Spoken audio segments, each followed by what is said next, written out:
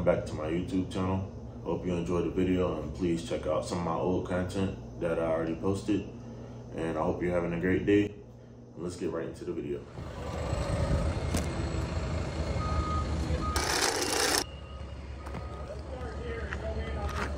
Okay. I'm gonna the up there too. Go back up.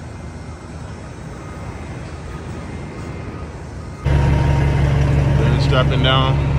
I did throw like 11 straps on here. The bulk of them in the center where most of the weight is at.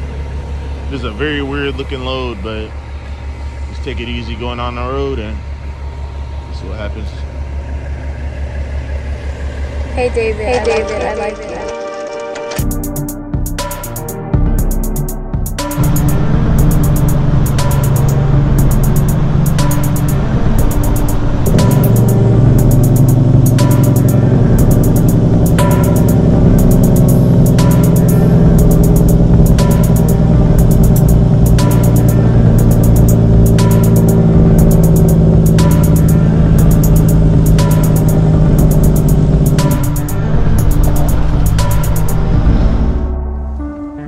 I was traveling through Missouri and my fuel filters got clogged up, so I had to pull over to um, buy more fuel filters and get them put on.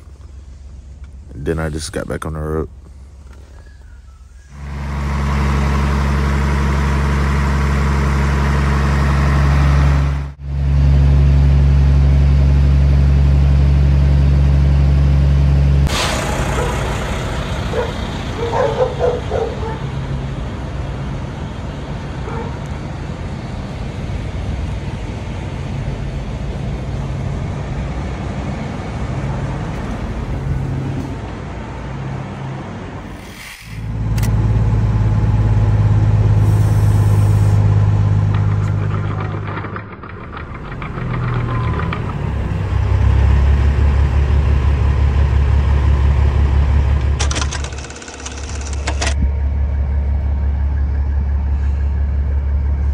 Like it's nothing, no, nothing but flatbeds over here. It's crazy. I'm at this TA in Oklahoma City.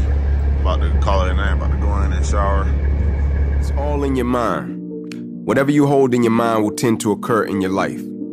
If you continue to believe as you have always believed, you will continue to act as you have always acted. You will continue to get what you have always gotten. If you want different results in your life or your work, all you have to do is change your mind.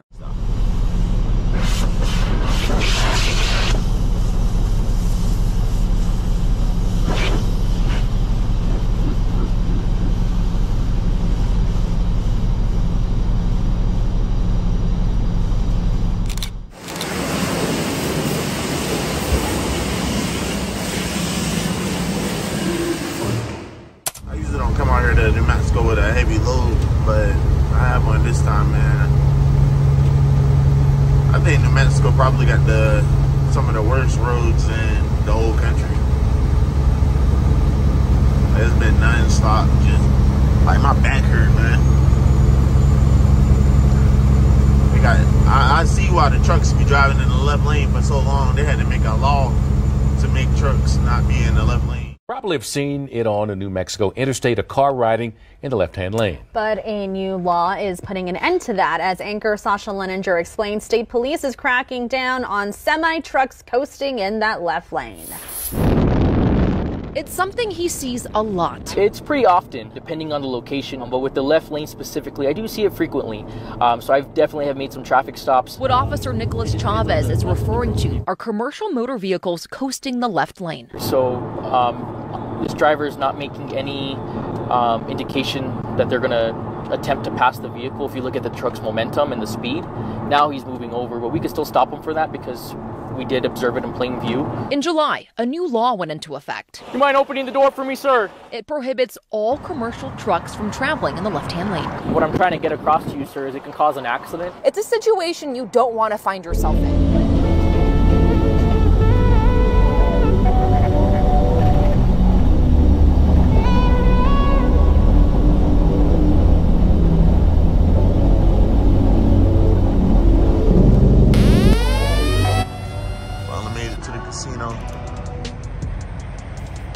About to go inside, probably play a few games.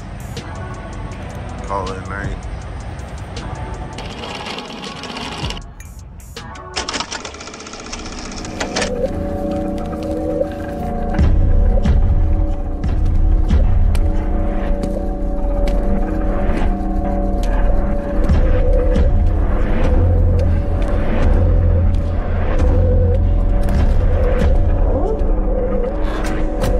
Hey David, hey David, I like you.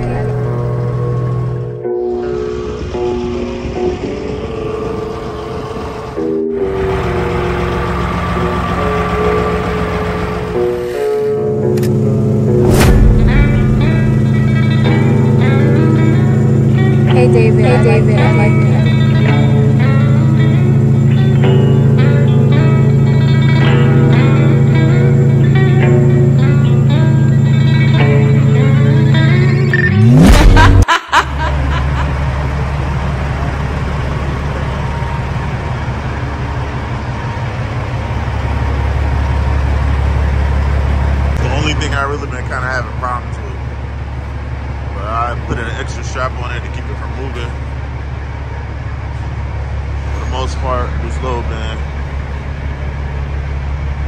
had to put uh, like a strap on top of. I don't know if you can see it from here. It's like a.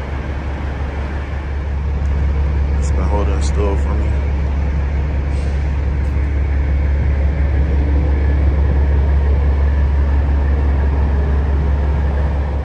Hello, everyone, and welcome to the YouTube channel with Trucker Dave.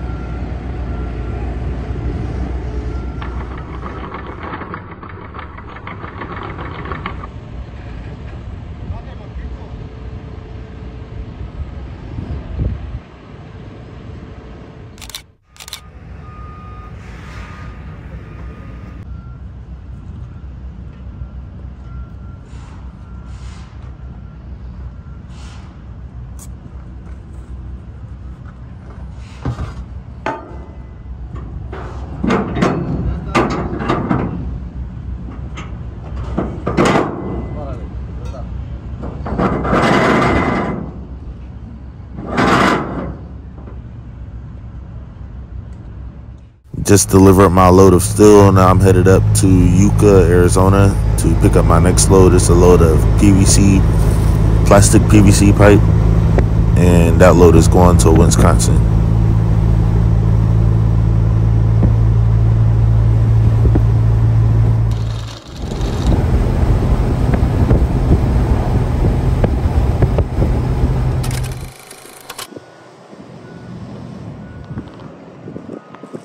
Finally here picking up my load.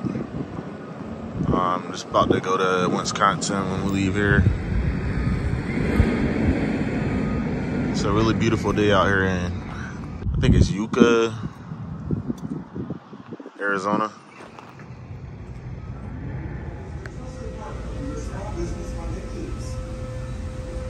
And people from all over been here.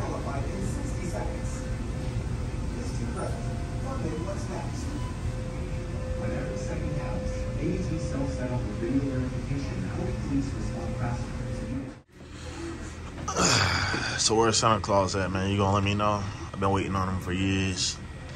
I've been a good boy this year, so I'm trying to see what I'm gonna get this year. But you just sitting over there with your mouth wide open. You ain't let me know what's going on. So uh, see you. Bye.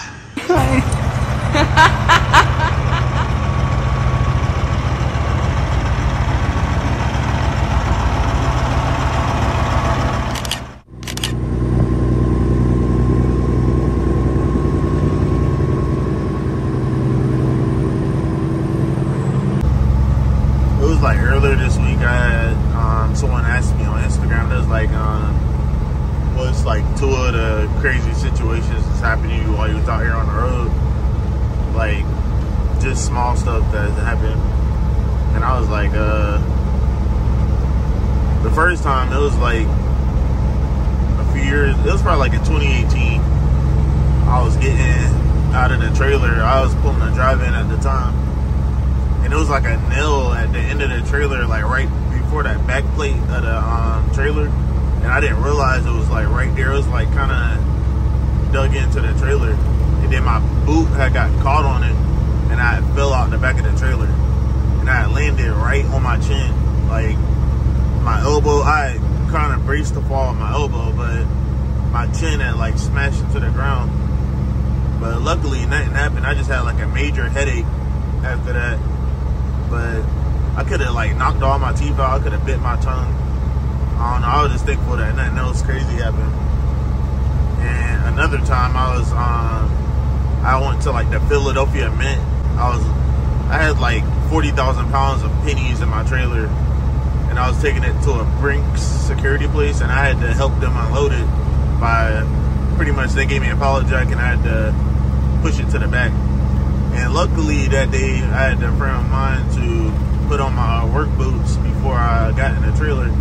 Cause I had on sweatpants and some slides. So I was like, man, let me just put my boots on right quick. So I put my boots on. I got in there, and then right when I started pulling the um the fork, not the forklift, the pallet jack with one of the um, skids of pennies, had like ran over my foot. Because the the um, trailer was like pretty much I was on a on a hill and the back end of the trailer was kind of like a downhill. And as soon as I was trying to pull it over it, it like ran over my foot and if I wouldn't have had those boots on my foot would have been gone because that pallet or skid or whatever it was at least like four or five thousand pounds per each skid because there wasn't that many on there but I still I still kind of felt it but I had on steel toe boots, so it kind of saved me. So like these boots I have, I literally had them since I first started driving trucks back in 2016. Like I bought them in 2016, right before I got on a truck with my um, my trainer. was I, I started out with Swift, and um, we had started like it was around this time in 2016. It was like right before New Year's. I did a run with him, and then I took off New Year's, and then we came back out when 2017 hit.